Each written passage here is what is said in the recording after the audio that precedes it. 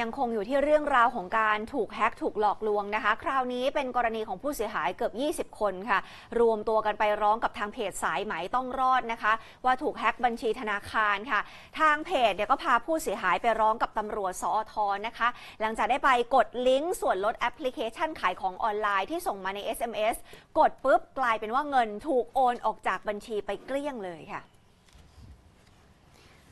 นายเอกภพเหลืองประเสริฐผู้ก่อตั้งเพจสายไหมต้องรอด พาผู้เสียหายเกือบ 20 คน ที่ถูกแฮ็กบัญชีธนาคารในโทรศัพท์มือถือ แล้วโอนเงินออกไปจนหมดบัญชีรวมกว่า 1 ล้านบาท เข้าร้องเรียนกับตำรวจที่กองบัญชาการตำรวจสืบสวนสอบสวนอาชญากรรมทางเทคโนโลยี หรือบอชปอสที่เมืองทองธานีจังหวัดนนทบุรีนะคะ เพื่อให้ติดตามตัวผู้ก่อเหตุมาดำเนินคดีให้ได้ ทางนายเอกภพเนี่ยบอกว่าผู้เสียหายที่แจ้งเข้ามาในลักษณะเดียวกัน จริง ๆ มีเกือบร้อยคนที่มาร้องเรียน ซึ่งทั้งหมดยืนยันว่าไม่เคยโหลดแอปแปลกๆ หรือเข้าไปกดลิงก์แปลกปลอมที่ส่งเข้ามา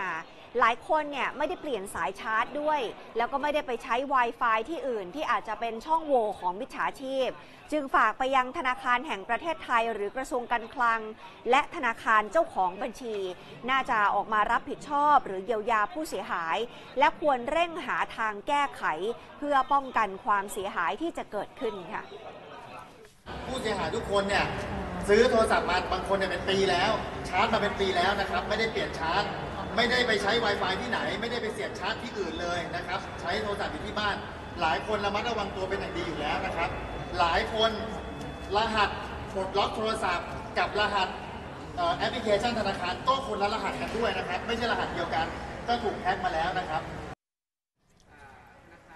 หนึ่งในผู้เสียหายนะคะ คุณพิทักษ์ปั้นรูปเล่าแบบนี้ บอกว่าคืนวันที่ 4 มกราคมตอน3ทุ่มเนี่ยมี SMS เด้งเข้ามา บอกว่าเหมือนส่งรหัส OTP เข้ามาแจ้งว่ามีการปรับเปลี่ยนวงเงิน ซึ่งตอนนั้นเนี่ยตัวเองไม่ได้จะปรับเปลี่ยนวงเงิน ไม่ได้สนใจไม่ได้เปิดไปดูนะคะ กระทั่งวันที่ 9 มกราคมเนี่ยมีกำหนดว่าจะต้องหักเงินผ่านบัญชีธนาคาร เป็นเงินค่าประกันชีวิต ก็เลยเข้าไปตรวจดู ปรากฏว่ามีการเชื่อมบัญชีของเขาบัญชีหนึ่งเนี่ยออกไปกับอีกกธนาคารหนึ่งก็เลยเข้าไปเช็คอีกธนาคารนั้นในอีกบัญชีหนึ่งปรากฏว่าภายในเวลา 5 นาทีค่ะ เงินหายไปจากบัญชีทั้งหมด บัญชีแรกเนี่ยเงินหายไปกว่า 6,000 บาท ส่วนอีกบัญชีถูกโอนออกไปเกือบ